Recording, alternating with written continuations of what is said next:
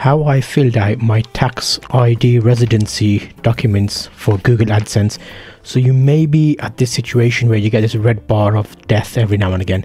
It's normally on AdSense or on Google if you're getting income from like YouTube. So in this video, I'm going to explain what I did. So I'm not a financial advisor. I don't know what you need to do. I'm just giving you an explanation of what I did. I did something similar a few years ago when people are struggling with filling out the tax information. So I did a couple of videos explaining how to fill out the form, how I filled it out basically. And that was the English tax form done for UK YouTube earnings. So off the back of that, a few people have commented and said it's changed. Can you explain what's going on? So I'm just going to go through and go through it logically and say this is what I've done. So far, I'm going through these steps. I've requested the certificate. A lot of people are struggling to find the certificate itself. So in this video, you'll hopefully find a way of getting that. It's going to cover it for a few people because I did some research to understand the issue. I'm going to explain what I looked at and show you all of that so you don't have to go through all of this headache. There's a lot of uh, Google forums, a lot of Reddit, a lot of Google searching. And the surprising thing is, if you ask accountants, I have an accountant friend, uh, like a tax expert type person, and he didn't know. So steps, so we're going to go through the research understanding. I'm going to show you what I did to understand the issue because it's good to understand this, especially if you're earning from the internet. I'm going to show you a list of options because everybody's slightly different. I noticed this on my last video, the one I did two years ago, that some people live outside the UK, some people are not residents. Uh, you might be like studying here and earning money from YouTube. There's all sorts of different scenarios. So I can't cover all of those, but I made a blog article which I'll be sharing the show resources. So I've I'll, I'll, explain about that. I'm going to go through how I filled out the form and then that's going to be broken down into sections in this video. It might be a long video, but hopefully by watching all of this video, you'll understand what's going on, why they've changed it, and also what I did to fill out the new form and explain that what worked and what didn't work and what I'm still waiting for. This happened over Christmas. Today's the 31st of December. New Year's Eve. Happy New Year if you're watching this after the new year 2023 at the moment. So yes let me go into this and explain this. So hopefully we can get some we can find out what's going on. So i explained already i've done a number of videos about tax and stuff over the years. I just talk about stuff that relates to me. And if you go to zulftalks.com go to show resources i'm gonna if you sign up here put your name and email i'm gonna send you information about this tax residency thing. So i've created an article about it and that's going to help you because I think as small community professionals in the UK, we don't really have a voice. Like we're just one man bands, one woman bands, ladies, men, whatever you, um, and we can't really get together. So if we have like a way of sharing all of us struggling with this, maybe someone will pay attention and help us because tax experts don't really know accountants are kind of a bit lazy unless you're a really good professional tax accountant. Even them will go onto YouTube and find these videos and regurgitate what I'm telling you, which I've done like three days worth of, worth of research on this and I've submitted it twice and it's been rejected and I've submitted it the third time with, with the actual thing they've asked for because I've requested it from the government. So I'm going to explain that process. So yeah, basically the long-winded way of saying that is uh, it'll give you a direct link to it to your inbox. So how to get tax residency info for Google AdSense so you'll notice uh, I'm slightly different from you. So I have a company. My company is called trustedcreators.org. So I get all my YouTube earnings into a company name and then the company I get a salary from the company as a director. So that might be a little bit complicated. I talk all about that on my Zulf Talks podcast, basically journey of like working for yourself. So there's a lot of stuff in there you'll find useful, especially if you're in the UK, because I'm sharing my journey of how I become self-employed, blah, blah, blah, blah. But if you get these show info, you'll get a link to this article. So I break it down. So you'll see if you're an individual, you click here and it takes you to like a Gov UK page. If you're looking for a certificate of residence for a company, which is me, I clicked this link here. If you're requesting a certificate of residence from a HMRC, if you're a partnership, there's a different like, process. If you're requesting it for a trust, if you have a charity and you do charity videos on YouTube, a lot of people do different types of things. If you're registered, um, this yeah, there's like different options there. So I've broken it down in the article with the links. You can simply click and it takes you to that point in the form to fill out to request a certificate. I got a notification on Google like Christmassy time. They always do this that time of year, makes you worry and they said, Can you provide tax information? I thought I've already done this. So I looked at it and it's asking for an extra step. The reason for that is I've got AdSense on my website. So I thought maybe something changed there. So the red bar came up and asked for proof of residency. So the residency proof is something you need to provide to say you're a resident of a, U- a country, in my case UK, and we have a treaty. Basically, if you live in another country, you don't have to pay tax twice layman's explanation. So America, UK have one. Uh, there's a number of countries that have one. There's a full list. I explained that in my last video. I linked that in the cards. You can check that out. So the overview of this is I googled to find out what's going on, and I found a number of people asking the same question: What documents suffice as proof of tax residency? So I'm seeing this alert attached payments info page. I'm based in the UK and asks ask for a tax residency certificate. So they also so I did some research online. Let's have a look at that research. Well, a certificate of UK, UK fiscal residence, which is what I ended up getting in the post. I filled this out online about five, six days later. It took to come to me, but this one has come to me as an individual. I have also applied for one in my company's name, which hasn't come yet. So I've submitted this. I'm likely thinking they're not going to accept it, but it's got my information on there. I've given them already my IDs in terms of uh, in a PDF document. I gave like a my UK driving license, my company uh, certificate to say I've registered company in the UK, and then this fiscal registry showing I'm the main owner of the company. A lot of people asking this on different forums like a month ago, so I feel like something recently has changed and AdSense is now asking for something different. So anybody from the UK dealt with the Ireland tax form. So this appears to be like a section on their website where it's saying it's the long and short of it is Google wants to save money and they don't want to pay tax. So they've got an office in Ireland where they pay lower taxes and that's their head office. So it's as if Ireland is separate. Everybody else gets paid from their Ireland account and they're basically saving tax. So we have to jump through hoops to prove that we have the relevant documents in the country we're living at, that we pay our own tax, so Google can save money. That's the long and short of it.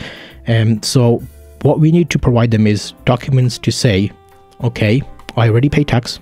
I'm either self-employed and I do my own tax returns on the internet, or I'm a company and my company pays tax for me, or pays on the income I receive. So you have to go to direct, well, the links I've sent you.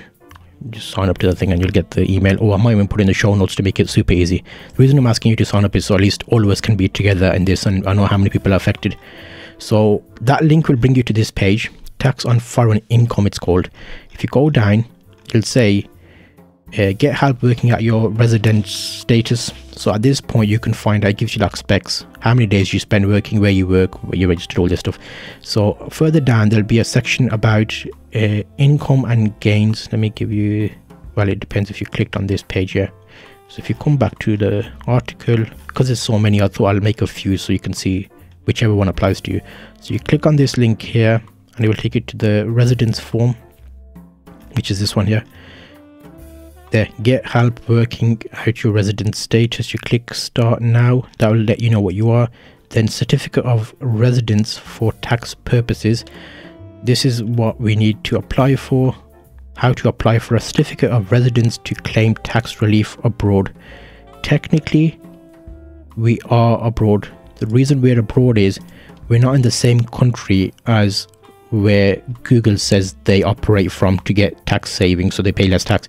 So they're technically based in Ireland. Everybody else is abroad because you're not in Ireland. Does that make sense? Um, so yeah, like a, this is how I understood it. Again, I'm not a tax expert, so get your own advice from accountants who search YouTube for answers. Find out how to get a certificate of residence as an individual company or organization so you do not get taxed twice on foreign income. So you go down, it asks you a series of questions and then you can request a form by going how to apply. You can use the online service here and that will bring you to a form. If you already do your self certification online you'll need to sign into your account. So you can do this. Let me see if i can do that without sharing all my information. Okay this is the the form section. I'm going to hide as much information as i can because you'll end up seeing all my information. So it asks you a question like do you complete self-assessment tax returns? So me yes. Is your address in the uk yes. You put your telephone number in there. You put your nationality. Save it let me go. I don't want to fill out another one but i think i can save this and not submit it. Let me just check. So as you click each section it will drop down. So you have to put your unique tax reference. If you're in the uk and you fill out self-assessment you put your number in here. You put your postcode your house number. This is the first page. Okay so i've put that information the next one says is the certificate for money or income received from outside the uk technically where uh, google operate is outside the uk because it's in ireland so you click yes here I clicked yes here. You can you'll have to check if it applies to you. Time spent outside the UK. Have you spent ever left the UK to work overseas? In my case, no, I haven't. Have you ever been outside the UK for more than 108 in the last tax year? No. Are you requesting a certificate in advance? This is before you have spent 183. No. So, are you asking for the in advance in lieu? Are you employed by a UK employer? In my case, I am because I, I work for my company. I put my company's name in there. I put my details in there I'll do that and I'll come back. So I filled all that out. Next is do you receive a private pension from a UK provider? No details of request. Why are you requesting a certificate of residence? So uh, hmrc i'm requesting this because google can't be asked to pay their own taxes and they want to save loads of money and they're living outside the uk and us to try and save money on tax. You can't see all of that but that's the gist of it. Again i've said that like a thousand times. Why are you requesting this? Okay uh, dividends bank interest income from letting royalties fees self-employment capital gains other reason I would likely say royalties because technically it's not royalties, but we're getting income from ads being placed on Google, and that might be royalties, or you can do other reason. Okay, so name of other reason, I'll call it Google AdSense. Google AdSense amount of income received. Now, this is where it gets a little bit interesting because if, if you've applied for the first time, you might not have money. This I used as my last payment amount. So you go and check on your Google what were you going to be paid for the last month whatever the amount is you put that amount in there. Details of other reason you can include 1000 characters. So you can put something like uh, google has asked me to supply a tax residency info document for my income from google adsense and continue period of time you need a certificate for. Do you need a certificate for a specific period of time? I said no, because it's ongoing. Which country's tax office needs the certificate? So here, in your Google AdSense, on the banner, you have like different sections where you fill stuff out on. My one is like UK, UK Ben form, US, and then Ireland. In mine, it's showing me Ireland, so I'm gonna say Ireland here. Let me go Ireland. Uh, just make sure yours is the same. And again this isn't like this is what i did so it might not apply to you so don't come knocking on my door sorry if it's not right. Article of double taxation agreement. Which article of country's double taxation agreement covers the income in this uh, section? Oh let me check. Are you a beneficial owner of the foreign income received? No. Well yes because the company gets it then that company pays me based on yes the company. Do the subject do the subject tax provisions apply to this foreign income. I can't remember what I put here. These two buttons, let me check come back. So again, based on my research, I found on DirectGov UK Ireland tax treaties. And this is the treaty between the UK and Ireland. So if you go down, you'll see documents here which are uh, they originated in 1976 UK Double Taxation Convention amended by 1998 protocol in force. So Article 3 of this document says the term Republic of Ireland includes any area outside the territorial waters of the Republic of Ireland which is in accordance with international law has been or may hereafter be designated under the law. Blah, blah, blah. But B is the term United Kingdom includes any area outside the territorial sea of the United Kingdom which in accordance with the international law has been or may hereafter be designated under the laws of the United Kingdom concerning the cont- continental shelf. Continental shelf, that reminds me of a uh, Jack thingy not Jack Thingy. What's his name? What's the the new movie? Keanu Reeves, as an area within which the rights of the United Kingdom with respect to the seabed and subsoil, blah, blah, blah, blah.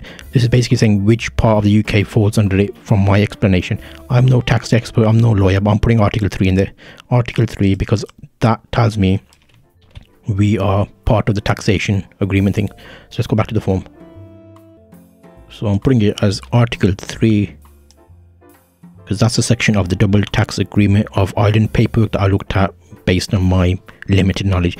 Do the subject to tax provisions apply to this foreign country? Do the subject to tax provisions? I, I would say. Oh wait a minute. Is it just a number? All numbers. So number three. So you don't write article, just write number three. Uh, do the subject to tax provisions apply to this foreign income? Some double no, because we don't know. I'd say I said no. Even continue. And that I'll probably submit it again. I don't want to submit it again because I've already got my my one here. So I submitted that form. Seven days later, I got my documents. I took a photo of this and because it only said my name and my address, took a photograph of this I put it in a Word. If you're using LibreOffice, you can do this. I put the photo in the document as page one. Second page, I put my driving license, UK driving license to prove my name. And the third one, I put, because I have a company, I put my incorporation certificate of my company. So I have three pages and one thing. I saved that as a PDF. I submitted it to Google two days ago they take about seven or eight days to check it. So I'll need to provide you with an update to say, okay, yes, that's gone through. It hasn't gone through. What did they say to me? Before this, I submitted two things. First time I submitted my incorporation certificate, it didn't accept it. So I thought, well, there's no other way of proving i'm live in the UK. So I did my passport. That's the second time. And they didn't approve that. So this third time, this is a document they asked for. So this is what I'm supplying them because I didn't know how to get it first. So I had to do a lot of research, which I've kind of talked through today's episode, explaining that so very probably a long video today so sorry but if you get approved let me know in the comments i'd like to know or let other people watching this know